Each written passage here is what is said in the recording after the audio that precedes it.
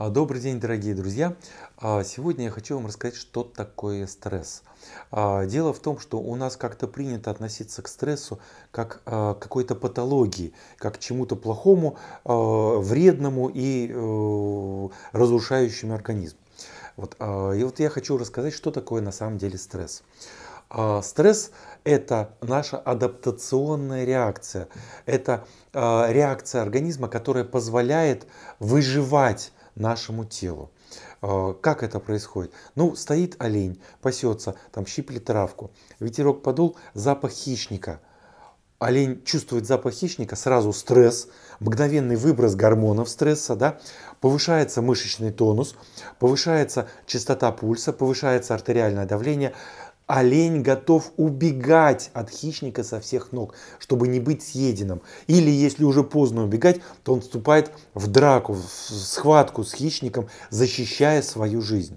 Вот что такое стресс. То есть смысл стресса – это мгновенная подготовка а, нашего тела к борьбе за выживание, к повышенной физической нагрузке. Вот для чего нужен выброс вот этот гормонов, который за доли секунды подготавливает наше тело к повышенной физической нагрузке. У животных э, стресс всегда заканчивается повышенной физической нагрузкой. нагрузкой. Либо животное убегает, либо животное вступает в драку. К сожалению, у человека далеко не всегда э, стресс заканчивается физической нагрузкой. Чаще всего как раз наоборот. Именно поэтому э, у человека бывает э, атеросклероз. Да? А у животных, как мы знаем, атеросклероза не бывает. Вот. А у нас часто наши э, доблестные доктора связывают э, наличие появления атеросклероза с, э, банально с тем, что много холестерина в крови. Но хитрость в чем? Много холестерина появляется именно из-за стресса. Почему? А потому что стресс вызывает выброс гормонов стресса.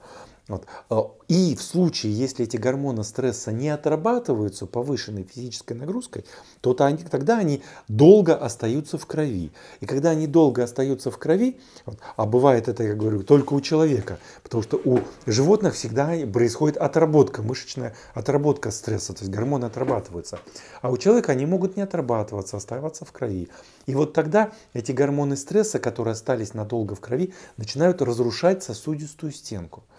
А в сосудистой стенке находятся у нас факторы свертывания крови.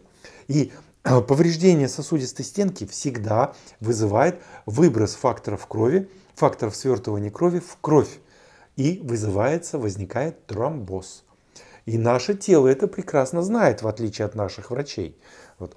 Поэтому, естественно, для того, чтобы предотвратить тотальный тромбоз э, в сосудах нашего тела, тело э, начинает экстренно замазывать вот эти повреждения, которые вызываются неотработанными гормонами стресса. Повреждение стенки сосудов. А стенка сосудов состоит у нас из холестерина. Вот. И, соответственно, холестерин как раз и является вот той самой замазочкой, которой и можно, и нужно быстренько, как можно быстрее замазывать вот эти повреждения, которые вызваны в стенках сосудов, которые вызваны гормонами стресса. Вот. А, и, соответственно, что чем чаще человек нервничает и не отрабатывает физической нагрузкой свой стресс, то тем больше у него повреждаются сосуд, стенки сосудов, и тем больше вынужден организм держать выше уровень холестерина, количество холестерина, которое просто необходимо, чтобы выживать в этих условиях неотработанного стресса, чтобы успевать замазывать повреждения стенки сосудов. И, соответственно, и, и вот эти замазыванные э, повреждения, это и есть вот те самые холестериновые бляшки, которые возникают при атеросклерозе. Вот. И холестерин в данной ситуации не является чем-то плохим. Да? Вот, наоборот, это то, что помогает человеку выживать вот, в результате неотработанного стресса. Вот что, друзья, такое. Такое стресс. И вот чем он опасен. Он опасен только тогда, когда он не отработан повышенной физической нагрузкой. При этом сразу хочу сказать, совершенно нет никакой необходимости давать там трехчасовую физическую нагрузку. Достаточно просто дать нагрузку до пота. Буквально вышли с работы, пробежались до автобусной остановки, вспотели, все. Вы вот эти выброшенные гормоны стресса отработали. И тогда никакой высокий холестерин у вас не будет держаться. И тогда никакого атеросклероза у вас не будет. То есть причиной э, атеросклероза является именно неотработанной физической нагрузкой стресс.